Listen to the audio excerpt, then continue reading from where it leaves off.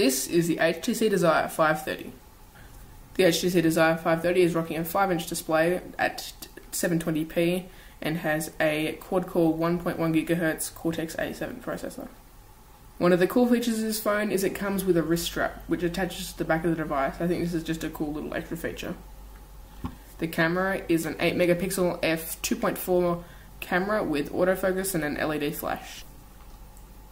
On the right of the phone, there is the volume rocker and the textured power button, which is an orangey colour.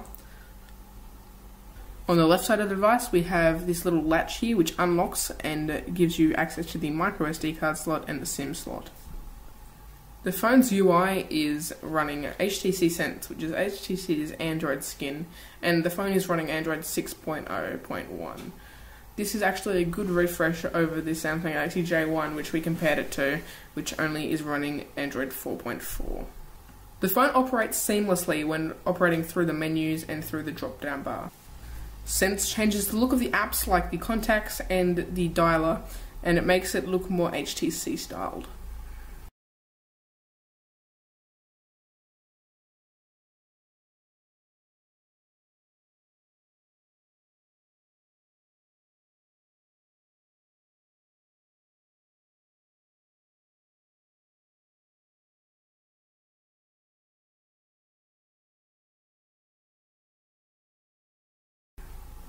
Now to the specs of the device. It's running a 1.1 gigahertz uh, 4 core Cortex A7 processor and it has 1.5 gigabytes of RAM. The screen resolution is 720 by 1280 pixels and has a screen density of 295 pixels per inch. As said previously, the HTC Desire 530 is running Android 6.0.1. The HTC Desire 530 has surprisingly good speakers and they can reach up to 74 decibels at full volume. The music doesn't tend to distort at full volume. Here is a camera comparison between the HTC Desire 530 and the Samsung Galaxy J1 Ace.